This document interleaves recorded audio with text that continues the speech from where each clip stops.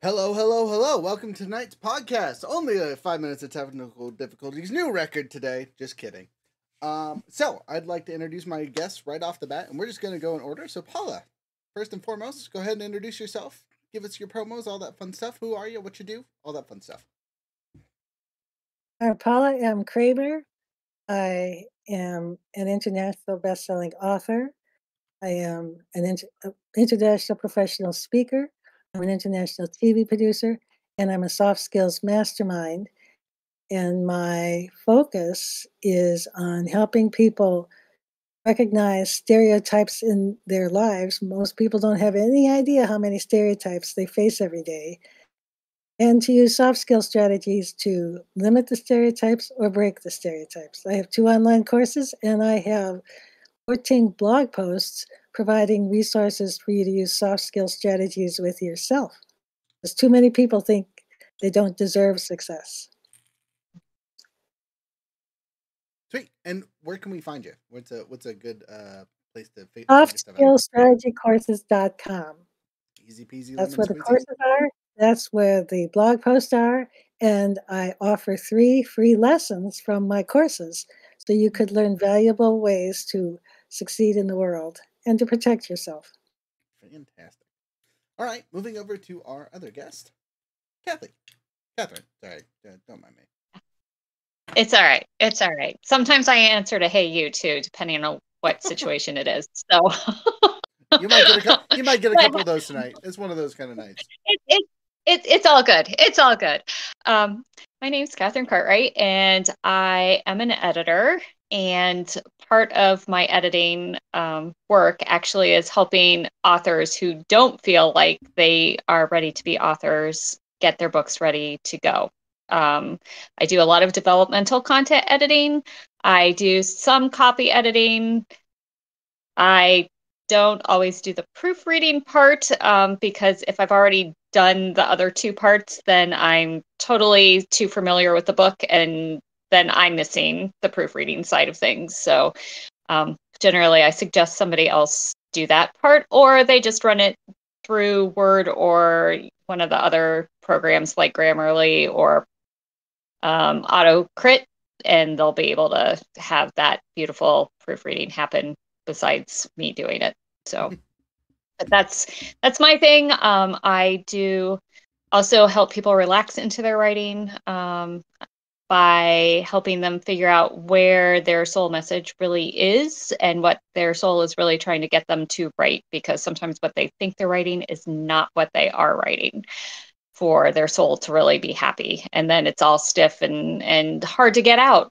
Like if you're in the flow with your soul then it just flows on the page and otherwise it doesn't. So the key is for me to help mm-hmm. everybody get their message out because everybody has a story and maybe it's not mm-hmm. one that's going to be published but it, everybody has a story You're doing similar things.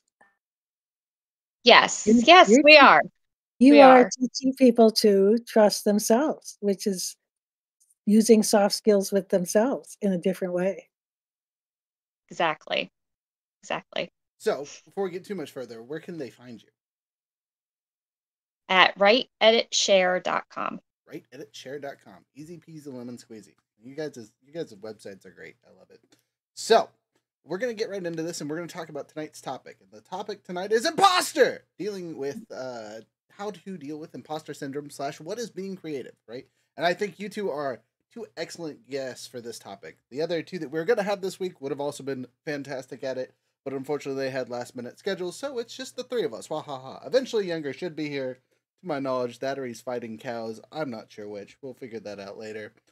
Um, so we're gonna, gonna just go into questions, and we're actually gonna start with the uh, what is creative part. So, in your own words, what would you describe, or how do you describe things as creative, or what ticks that box that hey, that's a creative thing to see? So we'll start with Paula since she's got a inline here.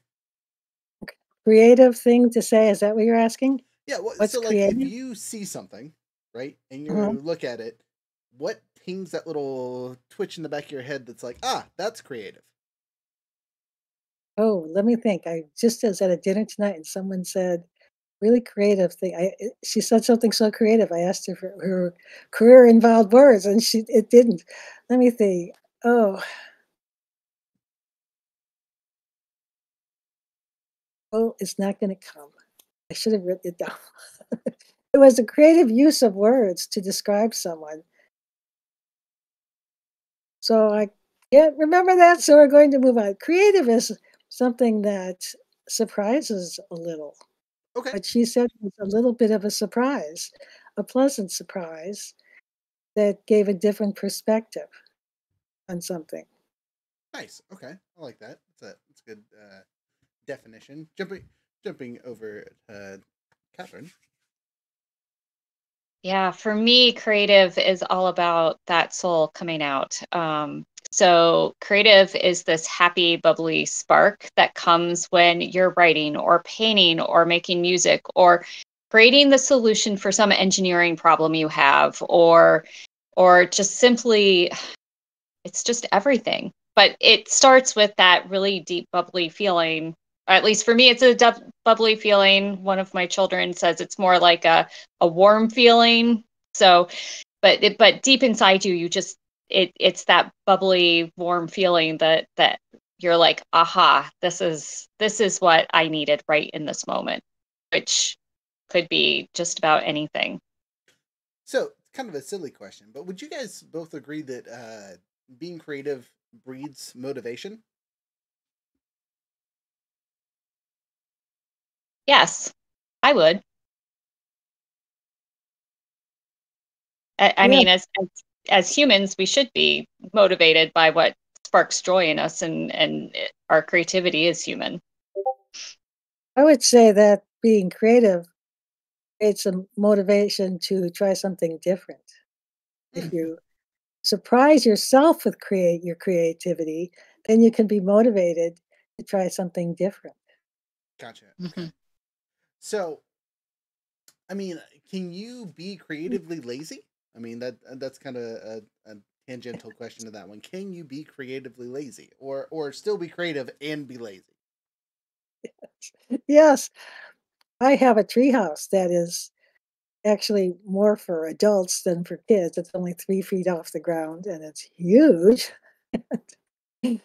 I can go sit in my treehouse and, and accomplish all kinds of things inside me and outside of me in my treehouse. yes, mm-hmm. just sit there and sometimes I play the kazoo though, so that's not quiet. Hey, you know, whatever Yes. gets the juices flowing, right? Yeah, right. Creatively, yes. In fact, once I go out to my treehouse at night, I like going out there at night. It's mm-hmm. underneath a huge cedar tree. And I discovered that if I go outside after it has rained, little drops of water sit on the branches, on the cedar leaf branches. And so I can take a photograph of those water on the branches and get all these little sparkles against darkness. So that came from being lazy and going out to meet my treehouse for a little while. I got these wonderful photographs. That's Mhm. awesome. That's a that's a that's a fun experience, to say the least. Kathryn, what about you? Where where mm-hmm. do you where do you feel on the question? I I honestly I believe you have to be lazy in order to be creative. Because in our very hectic, busy, online all the time, phones pinging and binging and and there is nothing like laying on your back looking up at the clouds and seeing what shapes they make. There is nothing but much like Paula, the the beautiful pictures she took you know i mean like like our brains need to have downtime in order to actually let the creativity come out i so Right. i i am fully i'm fully on board with being i don't consider it lazy i consider it being instead of doing Mm, so i need being time to be creative I don't know. I know the most of the time that I get creative is when I don't want to do something. Um, so it is it is uh, an avoidance tactic 99% of the time. I mean, obviously there's fun and enjoyment and all that fun stuff too, but like if I get really creative, it's really because I don't want to do something else. What do you guys feel on that? Is that is that kind of in line, or is it a little different than how you guys deal with your creativity? It's just another way to be lazy to on the way to being creative. There's different ways of being lazy, just like there are all different kinds of ways to do anything. There are different ways of being lazy, and we should each look for the ways that suit us. Mm-hmm. My laziness is going out to my treehouse. Yours is avoiding a job, and What, Kathryn's is whatever I don't want to do. right is lying in the grass. Note that we both chose nature. We both chose being out in nature. That makes sense.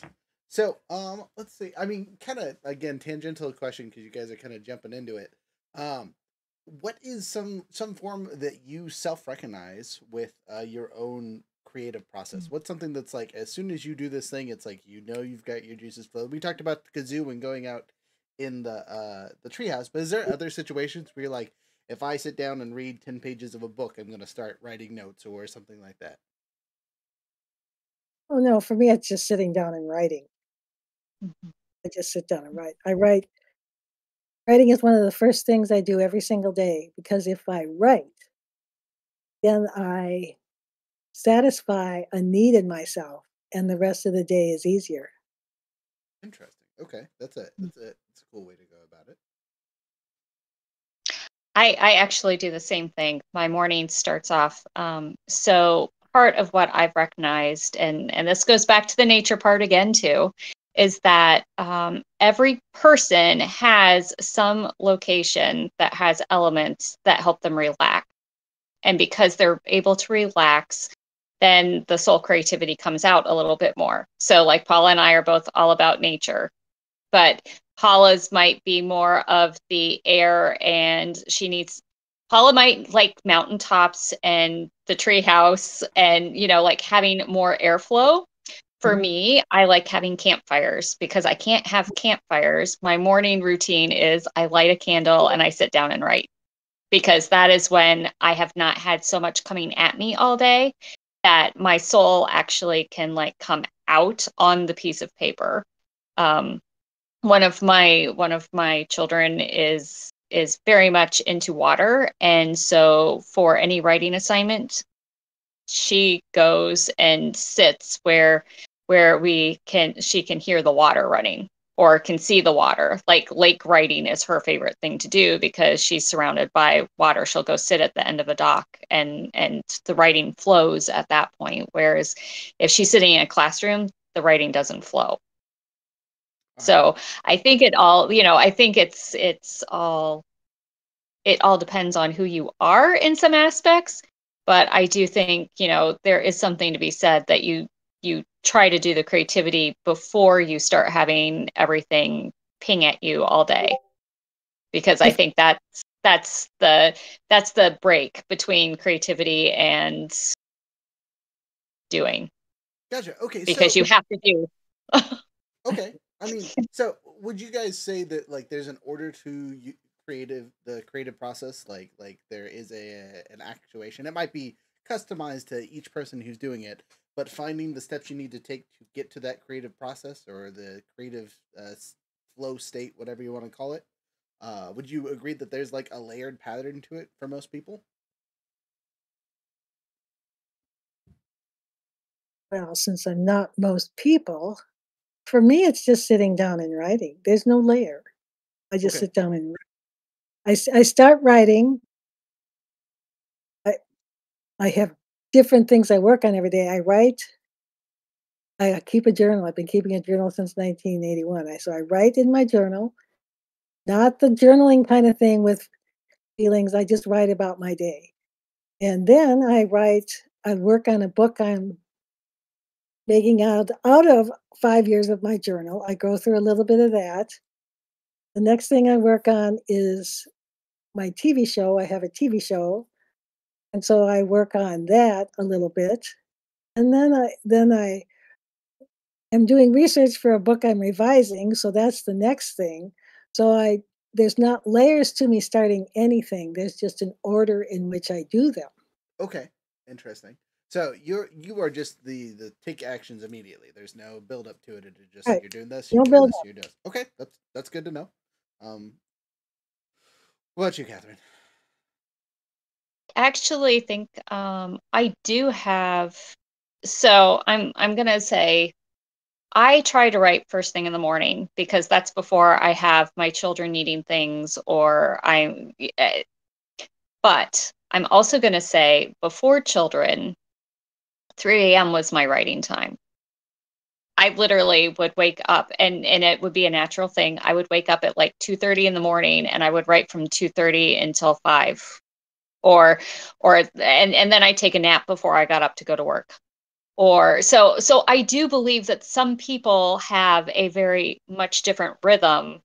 Um I with having children and they have a school schedule, I tend to stick to their scheduled needs but when we're on vacation, I revert back to my I'll take an afternoon nap and be up, you know, from three to five doing my creative time. So I think it really depends on trying to find that right time for you as to when you are the most creative. I always thought for me, the reason three to five worked really well was the rest of the world was quiet. I was just about to say that because uh, that's that's when I make music and other things too. You know what I mean? When I'm in my typing four billion things on the computer. It's everyone else is asleep. I don't have any other things going on. It is silent in my world besides the music I'm playing. Um, so like, totally get that. Totally agree. But I am also very much a night owl. Uh, you know, I'm not. I'm not uh, the awkward uh morning albatross person where it's like, eh, go through the day, whatever day it is, adjust schedule. I feel that.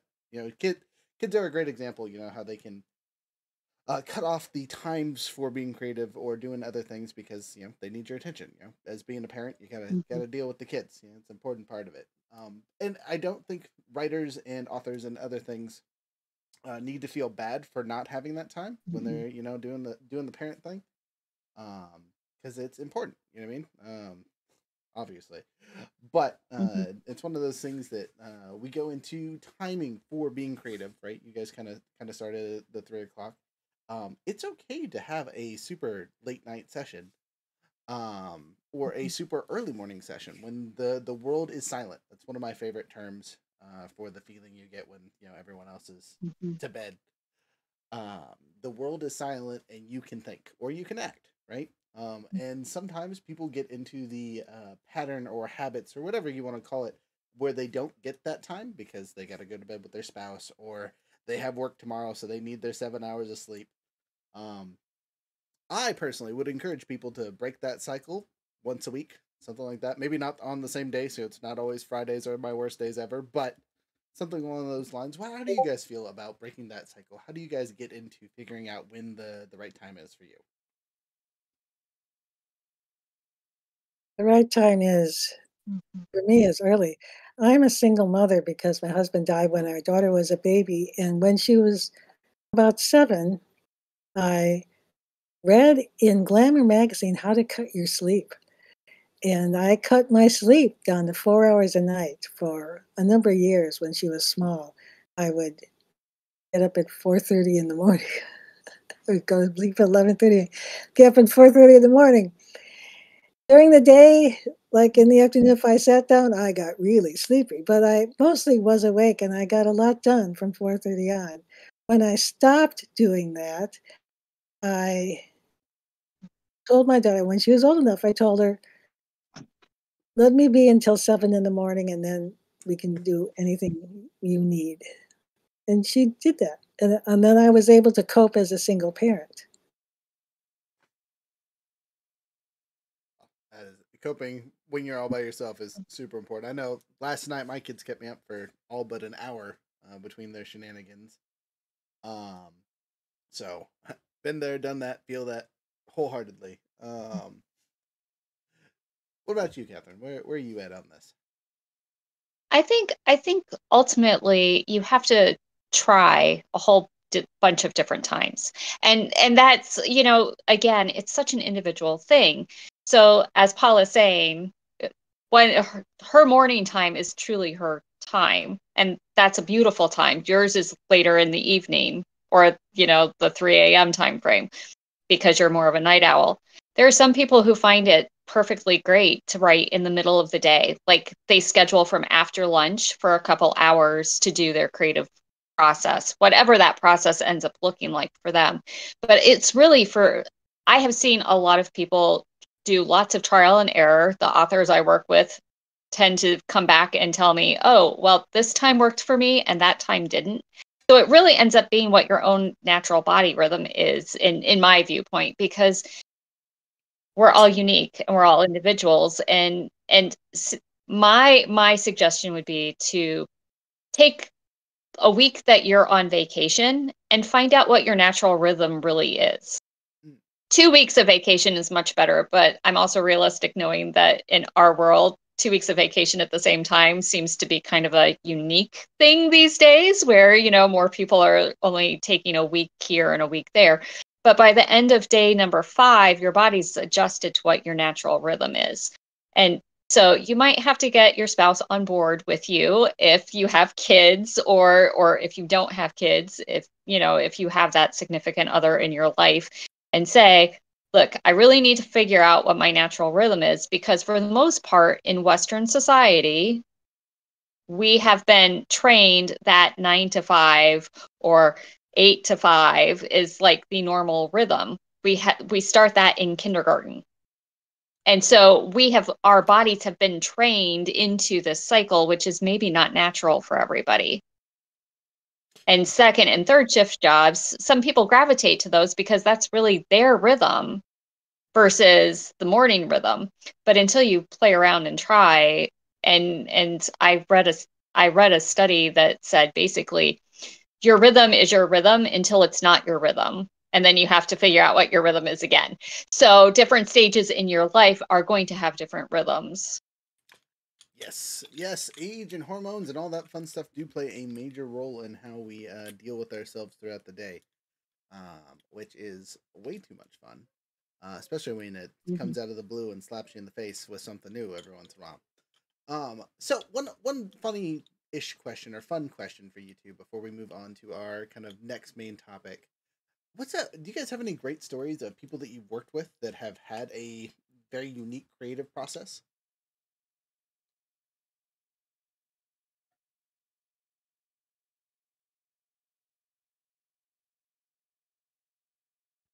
I have an author that um, published her book a year and a half ago, and her favorite time of writing was right after she did her kickboxing class. She she'd get all that physical energy out, and then it would quiet her mind enough to be able to sit down and write, which I always thought was brilliant. That's not the way I work. Um, but it's the way she worked and and i i always appreciated the fact that she she just was like i tried it and it was actually the best fit for me so kickboxing and then writing I can't combo. think of anybody in my own life, but I have heard about someone who did something similar, who got themselves completely worn out physically and then could be creative. It's funny how sometimes the uh, the physical energy does mess with the mental side of things, especially when you're trying to focus on minute details or wide open details, depending on what part of the writing you're doing. Uh, mm-hmm. so, the second half of our little conversation for tonight is imposter syndrome. Have you guys heard that term before? Yes. Of course. Okay. gotta gotta ask and make sure. So, in in my realm of things, imposter syndrome is a wide phenomenon, and it's pretty much anywhere there's writers, right? Is uh, because as as writers and storytellers, you know, we're going to take things that we like from other genres, other movies, other people, uh, and meld them into our own thing. And some people fear that they get too close to the sun, uh, metaphorically speaking, or too close to another author's writing style. Um, so with that uh, as an understanding of what the heck we're talking about, um, has has that been something that you guys personally have dealt with for your stuff? Before we get on to the, the people you've dealt with? I have never felt that with my writing. I have never felt the imposter syndrome in any way. I developed, I had to develop soft skill strategies as a child because I had a horrific childhood. My mother tried to kill me twice and was a narcissist who was uh, emotionally abusive to everyone. So mm-hmm. my father became a quiet alcoholic to cope with the abuse. He would go out and do his job and then come home and drink two to three quarts of beer at night to bury his feelings about my mother's abuse.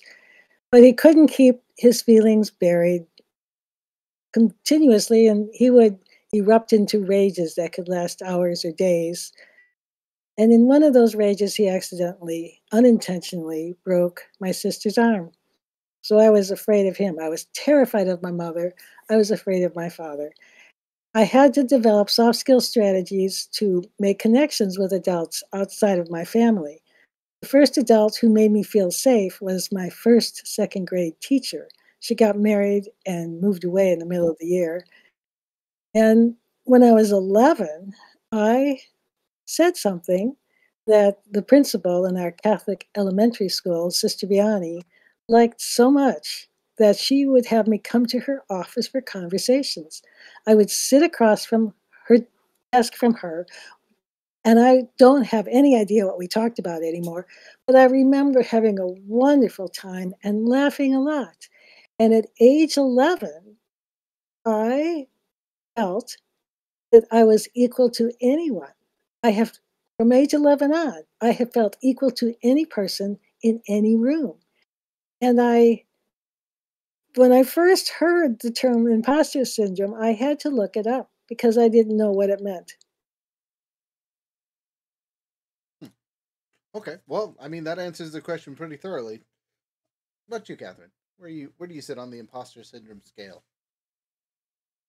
I think lots of people have imposter syndrome. I'm going to be the first to say that I also have been in that imposter syndrome. Um, it's really easy to compare yourself to others if you know if if you have not learned the skills like paula had to um, you you do have to have some imposter syndrome at some point and whether you can co- overcome it or not is is truly the key so when i work with my clients i tell them that your words and your story are coming out in the way you need to have them come out because your soul contracts are going to be the ones who find you.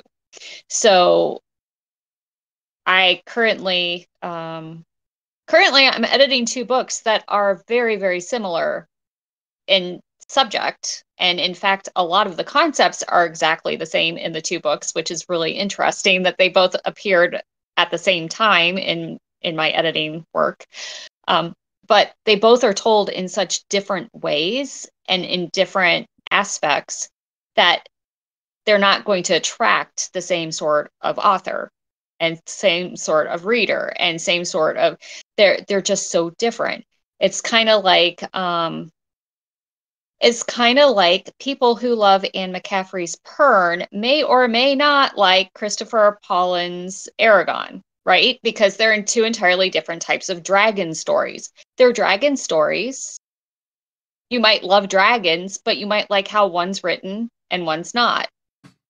And so so it's it's all about whether you're willing to be brave enough to admit that your story is your story and the way you're writing it is meant for who's going to read it, not compare it to people who perhaps have also been writing for years compared to you who have been writing for a shorter period of time. I mean, I certainly would not compare my writing to somebody like, say, David Weber, who has been writing for, you know, 40 years and I've been writing for three. You know, I mean, like, like, there, there's just a difference. Like if you go back and you read something that one of the authors that you love has that wrote like their original stories that haven't been updated, haven't been recreated because they could do that after 20 years because the copyright runs out and then they're they're tinkering with their books again before they get republished. If you look back at some of those authors that wrote their early works, they are so different from the ones that they've written, you know, 10, 15 books down the line. So I would say that every and in fact every author i think at some point does have some imposter syndrome because you're comparing yourself to these people who have been writing for much much longer and years and and those books went through an editorial process and they went through you know they they didn't just write the book to start out with they wrote a draft and then they had people read it and talk about it with them and say this is what i really loved this is what i really hated. The author then does another draft and then another draft and then another draft until they're happy with it. And then you know then it goes through editors or you know and and advanced reader copies. And sometimes um the advanced reader copy has comments that come back and the author is like oh we need to stop and pause actually publishing on time because we want to fix some of the stuff that the advanced readers have now told us because they're a bigger group of people versus the smaller group of beta readers that they've been working with. So my viewpoint is imposter syndrome is there and everybody can overcome it if they just sit and really think about the fact that they have a story and somebody needs to hear that story in that person's words because perhaps one story that was written that was very similar is not going to be able to be read by somebody who did not resonate with that particular story. That totally makes sense to me. Um, I mean, as a as a personal antidote, uh, honestly, I'm kind of with Paul on this one. It's not something I personally have dealt with a lot of, uh, but every once in a while, one of my players will be like, "Wow, that really sounds like something else," and I'll realize that like the concept is very close. Most recently, uh, we had a time wizard messing with time and doing things and so on and so forth. Uh, and we worked through his character, like just t- said everything this character had done over the story for the last, uh, I don't know, couple months. And uh, he's a, he sounds exactly like a Time Lord, like from Doctor Who. Uh, made me giggle super hard because I'm not a big Who person. But if you had just taken all his key points and the things that he'd done, that was very much a Whovian. Uh, ga- ga- what do they call him? Uh, you guys remember what planet the Doctor's from? Starts with a G. I want to say that I have never compared my writing to anyone else, but I also base most of what I write on my own life. Since nobody else has lived my life, there's nobody to compare it to. Okay, I mean that that's an excellent way to avoid. And you guys both brought up a couple really good uh, top jumping off points that I'm gonna jump into. But we'll start with that one because that's a that's that's easy peasy to jump into. Uh, it's much simpler to avoid imposter syndrome when you self self focus right as a writer. Uh, if you're doing mm-hmm. stuff that is all about you and your experiences, if it sounds like you are uh, uh, Sherlock Holmes, uh, too bad. You know I mean you're the one that lived through it. You're the one that did it, right? There's no imposter. It couldn't be an mm-hmm. imposter because you did it. Um, right. Um, and sometimes taking that writing and just transferring it into a character uh, can be super powerful. Uh, great example, James Bond uh, as a as a mm-hmm. fictional character, right? Was built based on a real person, but then translated into a spy novel slash movie slash all that fun stuff. Um, so that that's like a super easy jumping from hey, you can take real life actions and turn them into your stories and still make them flair and exciting and all that fun stuff. Mm-hmm. Um, so keeping keeping that in mind, writing for yourself or as yourself, uh, telling the story as you and then changing it to a character is a mm-hmm. super simple way to uh, avoid that uh, imposter syndrome. Mm-hmm.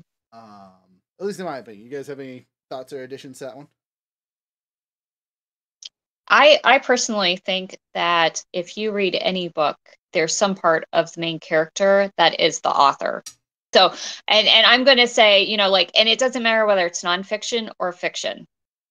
There is some part of that book that is coming directly from the author's experiences. So, like in Paula's case, she's saying she writes from her own experience, which does help with imposter syndrome, and and and it because you know what there are 8 billion people on this planet ish right? So that means that the likelihood that there's somebody else that has had similar situations is pretty common if you think about it in that aspect. If you think about it um, in terms of you know we we all have parts in our lives that if we're writing about it it helps us heal. And so every author that's writing a fiction book, generally there's a character that they actually really relate to within that book and that character is actually solving a problem that's happening in their real life or has happened in the past or happened to a friend or happened to a and and they're writing it to make it a better solution and a better ending for whatever was going on if it didn't end well in real life.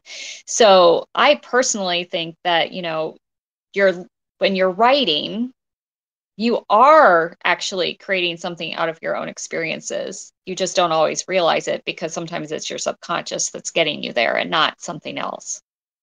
So to caveat on that one really quick, because uh, the way you said that sounds exactly like playing a character in a TTRPG, right? A lot of people, a lot of no, not all of them are the writing people for these characters. They just play the characters and have fun, right? Um, but a lot of them are going through that internalized trauma from when they were younger or you know the stuff they're dealing with currently. Big bad boss is really their actual boss, uh, and they just don't realize it as they're writing him, or how they're interacting with random characters a DM or GM has made for them.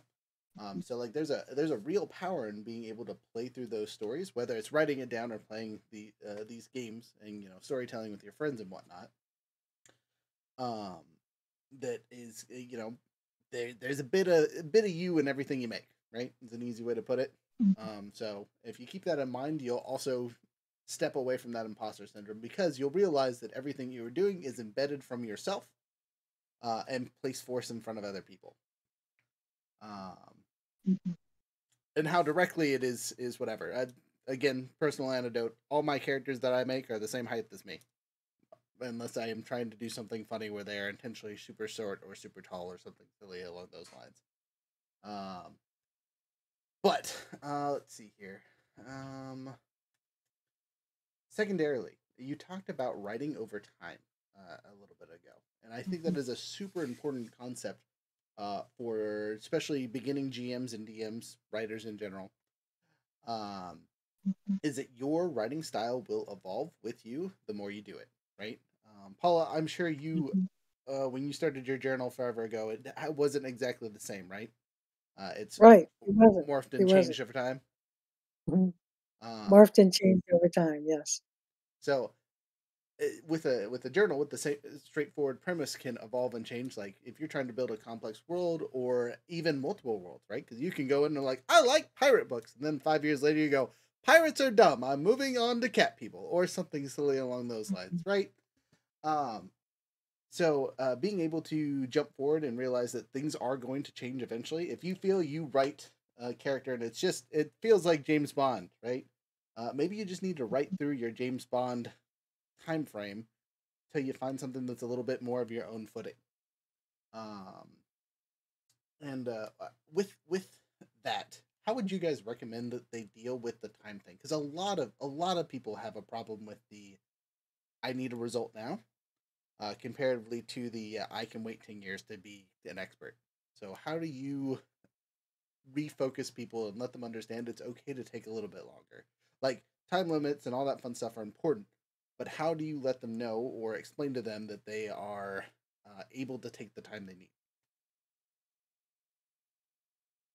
Well, I have done everything in my life. Every single success in my life comes from doing something in a small space, doing a little bit of writing. Uh, the journal that I'm I'm turning five years of my journal into a book. It's the five years I spent in therapy coping with my childhood, and I had a terrible therapist, a therapist who really wanted to help me, but she went about it in a terrible way for two and a half years, and then I had a better therapist for the second two and a half years, and I can get through one or two a day, one or two entries, journal entries a day. And sometimes, but when it comes to therapy sessions, I can get through three sentences maybe in a day, but it's getting finished. Uh, it, there are things that you need to take time with because it's the only way to get it done. In, okay so that it becomes what you want it to be. That's that's a very powerful statement. Mm-hmm. Um. So before before I jump over to Kathryn, this is younger. This is the business partner we were talking mad junk about before I got here. He's just a little late. We're My gonna bad. Man, the the game this week threw me off entirely. I thought uh I thought it was the opposite week. You fool. Anyway, Kathryn, what about what about you? How do you refocus people on an appropriate use of their time? Slash, it's okay to take the time that you need to do what you need to do.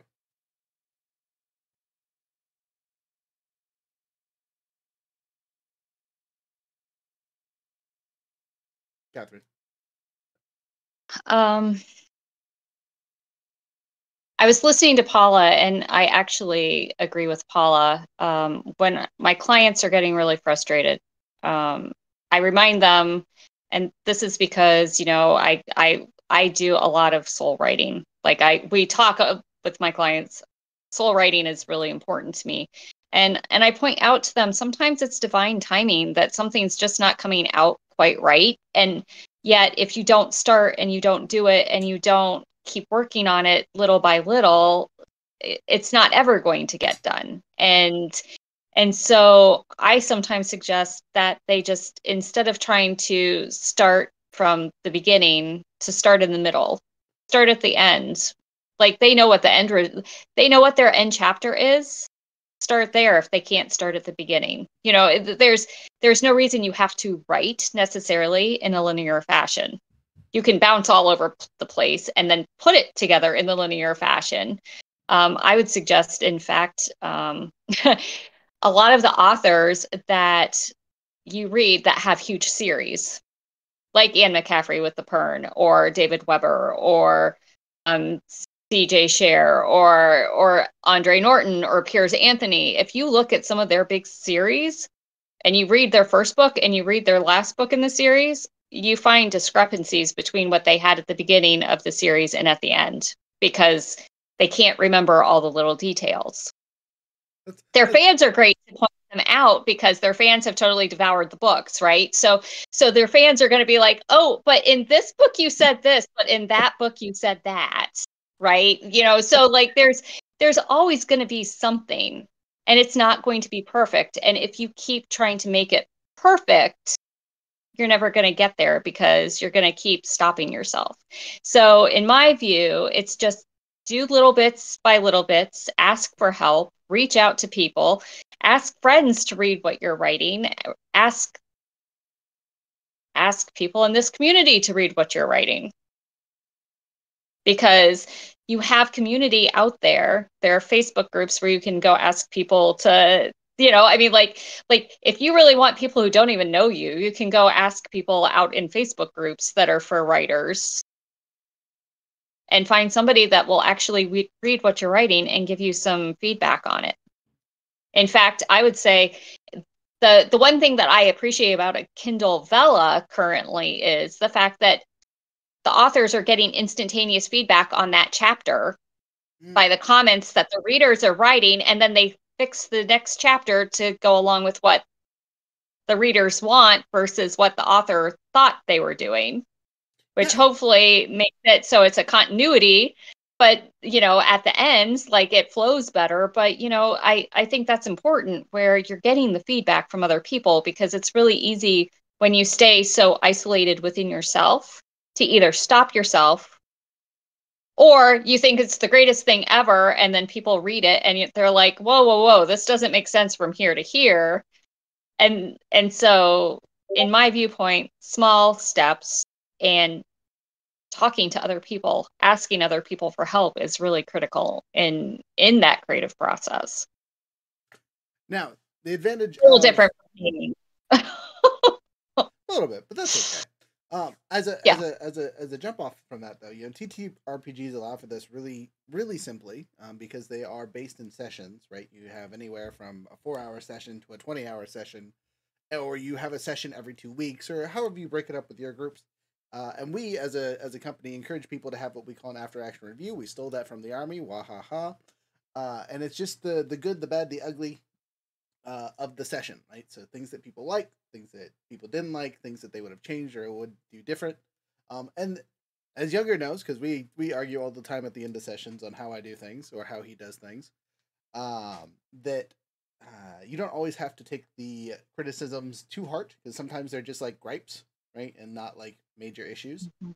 Uh, and being able to distinguish between those two and help you redefine what you're trying to do, right? But hearing what people want, especially when you're trying to make something for a specific group of people, um, listening to what they have to say is probably the most important and powerful tool you have in your uh, toolbox of experiences. Um, knowing that someone really, really hates fighting, we'll say slimes, uh, because they freak them out, allows you to not add slimes to your stories. Um, or the opposite. They love slimes. Slimes are hilarious to deal with. Add more slimes. Um, having both of those abilities to add to your writing, to your stories, uh, with other people's interaction, uh, really do curtail that imposter bit, right? Because it feels very tailored to whoever you are trying to tell the story to. Um, younger, not to skip over you, um, but in in in your experience, how do you make sure that you convey to your players, to your uh, the people you're with, that they are allowed to take the time they need to do something correctly? In aspect to their character or to a, a project or Either or, whatever whatever experience you're speaking there, friend. Um, so from a game side perspective, uh, I think it's a good idea to lay out the uh, the process of the turn. Like, what are the different various steps in the turn? You have your movement phase of where you can go. You have your action phase, what you can do. You know, and being able to uh, break it down, especially for new players who don't understand a particular system. It's much like an operating system of uh, of a computer. Like you, there, there's a step by step guide. You know, you have to do X before you can do Y. Da da da da da. But some of those steps can be interchangeable. You might attack before you move. You might move before you attack, or move, attack, and then continue moving. So on and so forth. Um, it's really along the lines of uh, helping your players know what their options are. If you see that they're stuck uh, instead of relying strictly on like oh the rules here that's be like hey what is it that you want to do? And um, because i'm a game master i can tell you how you are able to do that to the best of your character's ability um, under these circumstances. So to carry off that, to jump back to the writing side of things, uh, as as a writer, you're allowed to explain your own lore, right? Uh, again, breaking away from the Mhm. imposter bit is you can hundred percent change how something works in your writing, in your fiction, uh, to have it be applicable to whatever whatever situation you need it to fit, as long as somewhere along the lines you make it make sense, right? Uh, making a joke, you know, that's what the the edits twenty years later are for. When you re- release the book, and you go, ah, those plot holes I forgot about that everyone pointed out for like the entirety of the book. I'll fix those now. Um, I mean, you can do that in game. You can do that uh, as you write. Um, you know, again, we, the, we have wonderful people that do the edits or people that do the pre-rating. Um, that can kind of help with those, but just every every finished product is going to have holes. You'll have to plug them later, Mhm. right? Yeah, Um, it's kind of like um, playtest material. A good example of this would be like I'm working, I or I worked on an alchemist class, and it started off as just simply like a rough draft of like, okay, kind of sort of what do I want? Let's take some historical reference, you know, read over uh, realist, uh, like historical uh, aspects of it, and then let's look at the fantasy aspects of it that you can find throughout various forms of fiction writing or uh, movies, so on and so forth. And then, um, like, go and create a rough draft, and then you have the first draft written uh, after it's been outlined, and then uh, you go and you fit. You you think you have everything written up, and then you try to put it into a program to make it uh, have the correct art and everything else, and then you're like, ah, this doesn't fit or you know you submit it to somebody else and they're like you know you might want to use this word instead of that word so on and so forth So just, Um, just as a side note, do you guys do you guys appreciate the fact that he is saying exactly what you guys said about ten minutes ago before he showed up? Completely. i'm so sorry Uh, um, no, no, you just validated everything they said ten minutes ago. It's perfect. Right, Uh, right. so so it, You it's kind of funny because um, at, at one point in my uh, military career i was writing standard operating procedures and you know had a had a nice little template that was posted right on my wall that was like, okay, whenever I make something, I need to make sure that it's this format over here and there. Um, it was super monotonous, but uh, you know, those skills helped uh, helped me develop uh, this really cool book thing that just so happens to not be in this building at the moment, sadly. Um, The, cow- the cows have stolen it. Don't ask where it went. Um, so, um, to kind of kind of jump into the the next bit for this, right? Um, when do you guys junk your material? Right. Again, going into the creative process, going into the imposter syndrome stuff. Is there ever a line that you hit and go, okay, I, I have to trash this. This is just becoming uh 007. This is just you know where does that line hit for you as a creator slash writer, so on and so forth?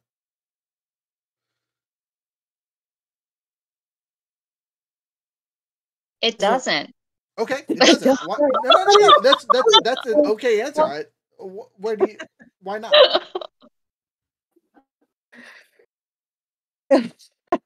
No, I don't. I, which is one of the reasons I write slowly. I do things slowly, is because then I get it right the first time, and I don't have to dump it and start over. Okay, I mean that's simple, right? Do do things the right way the first time. Uh, what's the what's the term? Uh, uh, uh, sorry, slow is fast, right? Uh, So- right, right. If I, I will say though that if my perspective changes on how to do it more effectively, then I can alter the writing. I mostly write nonfiction, not Right. fiction, and so I I'm continually doing research. And if I find new research, then I'll have to add that to whatever I've been writing, especially if it really gives a, an explanatory perspective on what I'm trying to do. Gotcha. Okay. I mean, obviously, if you find something that either disproves what you had before or explains it better, you're going to use that to amplify your writing, right? Um, I mean, that's that's true in fiction as well. You know, I mean, if you find something that works better for what you're trying to do, you can change it. Um, Mm. Kathryn, you you were also very adamant about not d- trashing your work. Please, please uh, fill me in on what you think of that one.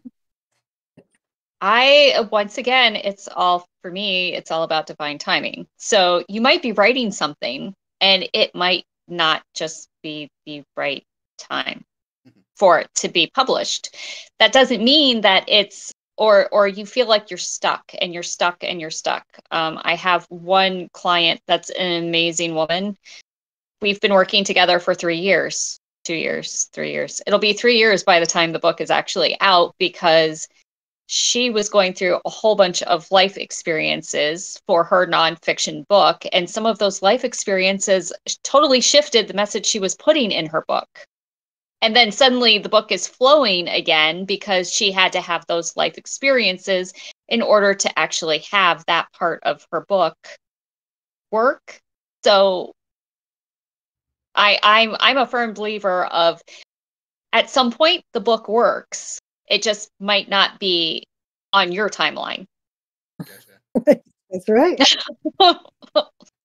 So the reason I bring this up, right, is because something that uh, us, the role playing community, the TTRPG guys, uh, face, especially as if they're being their own independent writer, telling their own stories, so on and so forth. If they try and publish and do other things that are more akin to a official author and things like that, uh, we hit a lot of red tape with what we can and can't use. Uh, for example, uh, a beholder, right, is owned by Wizards of the Coast, right? If you write a beholder in your works uh, and don't have their permission, you could lose your works, you know, almost instantaneously, right? Um, so like you, there there are ways to you know skirt around. Hey, this is the beholder, but it's not actually a beholder, um, kind of thing. Uh, but sometimes you know we recommend at points that it is just like if you get too close to the sun, step away. Don't don't pull an Icarus. You don't you don't have to fly high. You can you can modify or change it to it being a different variation. I mean, younger, you can back me up here, right? That's that's that's you know when we get too close to something that we're not supposed to touch on, that's the easiest. way Yeah, and like I wouldn't even say it's necessarily like D and D related. It's more like, oh, let's say you're playing a space campaign in D and D, and then uh, you start using some Star Wars stuff. Um, They get- that's where they get you. that's where they get you. So don't call it a lightsaber. Call it uh, call it an energy blade or some other BS. You know, you can like, I don't know. I feel like um, th- the borderline plagiarism of ideas. Like, there's been people throughout all of like history. Uh, people have been hitting each other with sticks the entire time. Okay, some of those sticks are made of wood. Some of them are made of metal. Some of them are pointy things. Some of them are, some of them are blunt. Some of them are sharp. But like the end of the day, you know, things are going to be semi-similar uh, as we are all people, and people come up with similar good ideas. You know, This is true. Several people have invented math. As much as we try to uh, unlearn it, it keeps coming back. yeah. Um, Look at Japanese math or some some of the Asian math. It's like they count the the vertexes of lines, and you're like, why does this work? It shouldn't work, but it does. Um, So I, uh, I also want to point out let's let's talk about Hollywood. What Okay. what wasn't there one year where they had two Avalanche movies that came out at the same time or two entirely different studios, two entirely different like they were filming at the same time under lock and key. Nobody knew about you know. So and and how many stories do we actually have that keep repeating mythology stories that have been written down that over time have shifted and and become some of the stories that we have. I mean, for goodness sake, it's not like Marvel was brand new with thinking of Thor, right?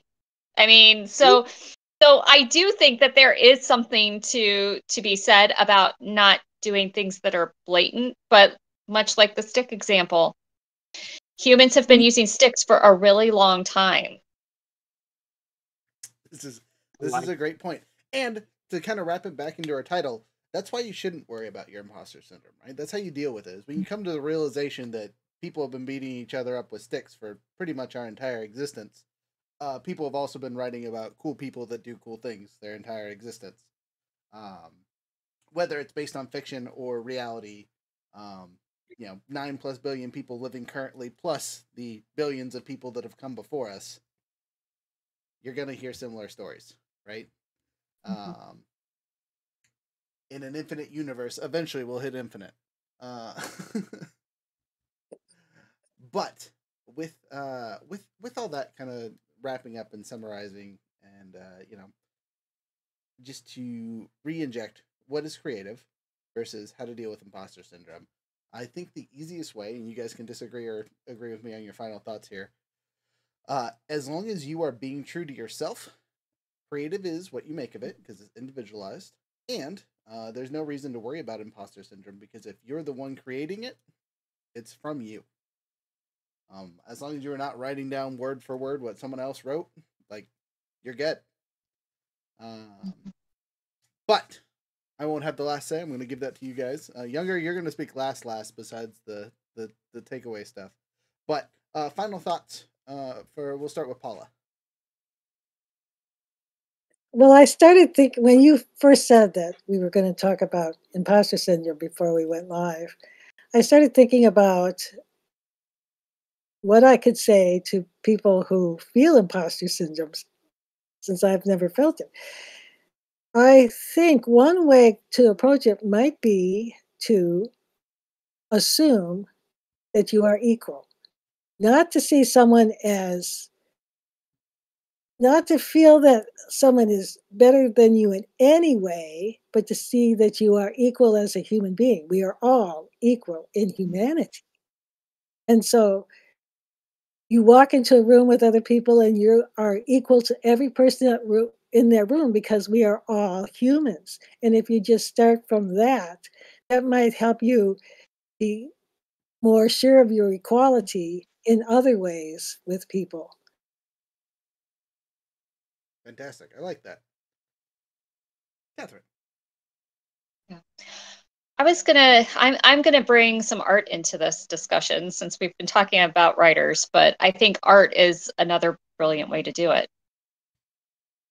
I don't think that Leonardo da Vinci learned from his painting masters that he learned from.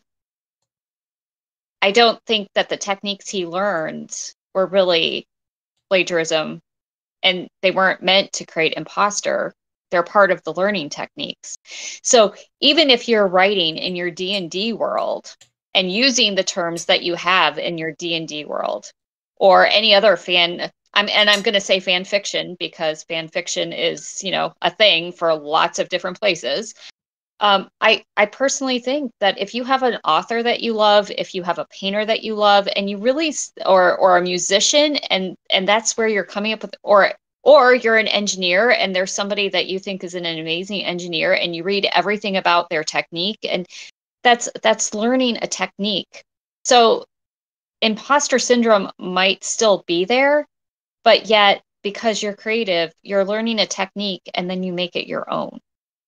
And I think that's really if if you're stuck, that's the way to look at it is is make it your own. There's nothing wrong with mimicking somebody for a little while and then making it your own better. Solid. I like that. Younger. I love that. And the reason I love it is because I hate the end stories of Roger's campaigns. I hate how he ends them. And so I'm like, you know what? I really like a lot of this situation. But what if? What if it had a happier ending? Um, and then we move on from history as if it had that uh, that multiverse.